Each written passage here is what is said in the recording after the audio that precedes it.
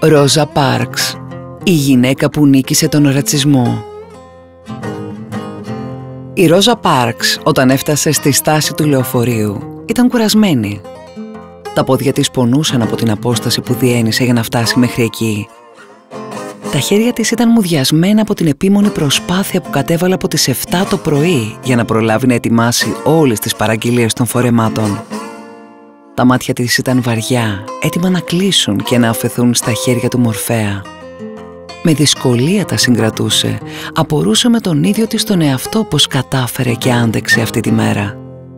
Ήταν τόσο εξαντλημένη που δεν την ένοιαζε για το θέαμα που έβλεπε μπροστά της. Ήταν στα αλήθεια αποκρουστικό.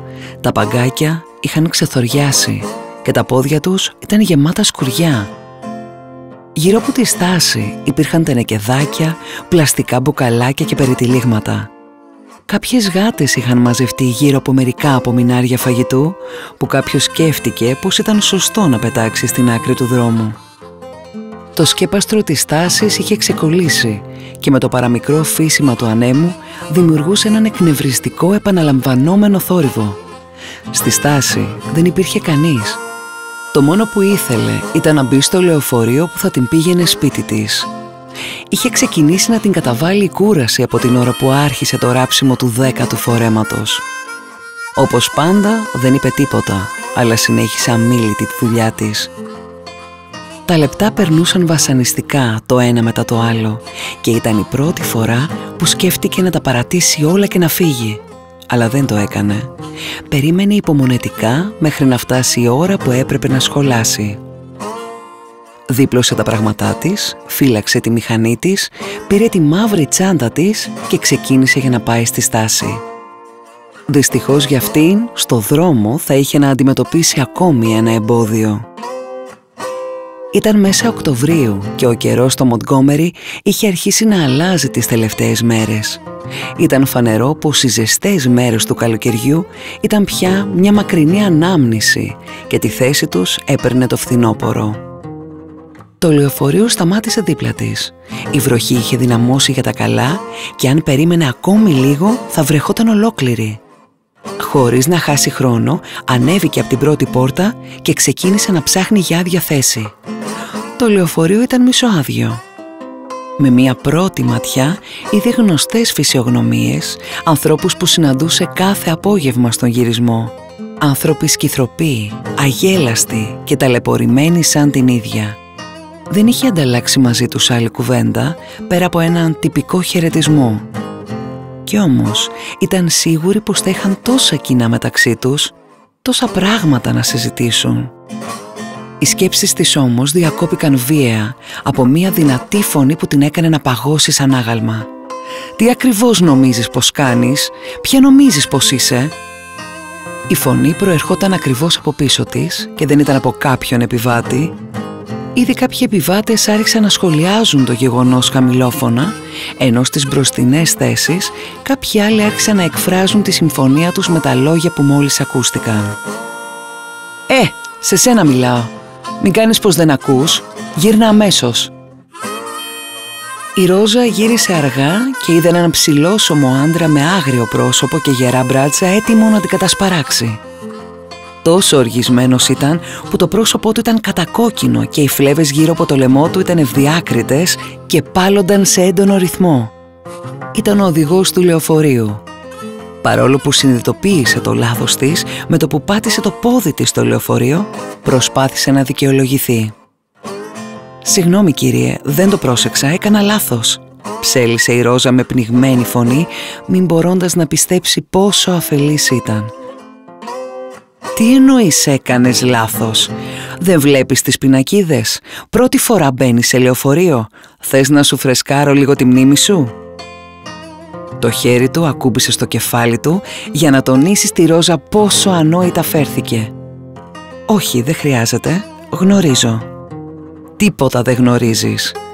Ο οδηγός την είχε πλησιάσει απειλητικά και η φωνή του είχε αγριέψει. Οι υπόλοιποι επιβάτες έσκυψαν το κεφάλι εκτός από αυτούς που βρίσκονταν στις μπροστινές θέσεις. Κάποιοι από αυτούς σηκώθηκαν από τη θέση τους και άρχισαν να επιδοκιμάζουν τις ενέργειες του οδηγού. Οι κανόνες είναι ξεκάθαροι. Μόνο οι λευκοί δικαιούνται να μπαίνουν από την μπροστινή πόρτα του λεωφορείου. Εσείς οι μαύροι από την πίσω πόρτα. Γιατί νομίζεις βάλαμε αυτή την άσπρη ετικέτα πάνω από την μπροστινή πόρτα; Αυτό ισχύει και θα ισχύει για πάντα. Ποτέ και κανείς δεν παραβιάζει αυτόν τον κανόνα. Ειδικά στο λεωφορείο μου. Ακόμη λίγο και θα θες να καθίσεις και στα μπροστινά καθίσματα. Πνιχτά γέλια ακούστηκαν από τα άτομα των μπροστινών θέσεων, θεωρώντας αστεία την τελευταία φράση του οδηγού, προσφέροντας ικανοποίηση στον οδηγό, βλέποντας πως αυτά που έλεγε έβρισκαν ένθερμους υποστηρικτές. Η Ρόζα έχασε τα λόγια της. Δεν μπορούσε να μιλήσει. Ήταν τόσο κουρασμένη που δεν είχε τη δύναμη να ανοίξει το στόμα της και να απαντήσει ή να βρει μια δικαιολογία. Έμεινε εκεί κοκαλωμένη, μην μπορώντας να κουνηθεί ή να πει κάτι. Δεν μιλάς, ε; Λοιπόν, ξέρεις τι κάνουμε σε αυτούς που παραβαίνουν τους κανόνες; Τους τιμωρούμε για παραδειγματισμό. Έτσι, μην τυχόν και επαναληφθούν οι πράξεις τους.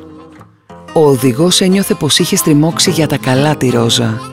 Έμοιαζε με τον πυγμάχο που στριμώχνει τον αντίπαλο στα σχοινιά και του δίνει απανοτές γροθιές. Και ο αντίπαλος δεν μπορεί και δεν έχει τις δυνάμεις να ξεφύγει. Και εκεί ακριβώς είναι η στιγμή που δίνει το τελειωτικό χτύπημα. Η Ρόζα και πάλι δεν μίλησε. Ανέμενε καρτερικά την τιμωρία της. Η καρδιά της κόντευε να σπάσει από την αγωνία. Χτυπούσε τόσο δυνατά που ήταν σίγουρη πως επισκίαζε ακόμη και τον ήχο της βροχής που χτυπούσε με μανία την οροφή του λεωφορείου. «Κατέβα, τώρα. Θα πας με τα πόδια σπίτι. Αφού δεν γνωρίζεις τους κανόνες, δεν έχεις δικαίωμα να είσαι στο λεωφορείο μου». «Ναι, κατέβα. Τελείωνε. Μη σε ξαναδούμε μπροστά μας». Οι φωνές των λευκών ακούστηκαν σαν η αχές τριάμβο, ενώ οι μαύροι στις πίσω θέσεις έμειναν αμήλυτοι. Η Ρόζα προχώρησε αργά προς την πόρτα αυτή τη φορά και χωρίς να κοιτάξει πίσω κατέβηκε τα σκαλιά. Η πόρτα έκλεισε αμέσως και πριν προλάβει να γυρίσει για να δει το λεωφορείο, σαν να περίμενε πως θα άνοιγε η πόρτα ξανά, αυτό χάθηκε από τα μάτια της. Η βροχή με μια στην αγκάλιασε ολόκληρη, από τα μαλλιά μέχρι τα πόδια, από τα χέρια μέχρι τα γόνατα, από το πρόσωπο μέχρι την καρδιά και την ψυχή της. Και τότε έγινε κάτι αξιοπερίεργο. Έγινε ένα με τη βροχή. Αφέθηκε ολόκληρη να την παρασύρει το νερό της. Τώρα η ίδια ήταν η βροχή. Αφού δεν μπορούσες να διακρίνεις ποια ήταν η βροχή και ποια τα δάκρυα.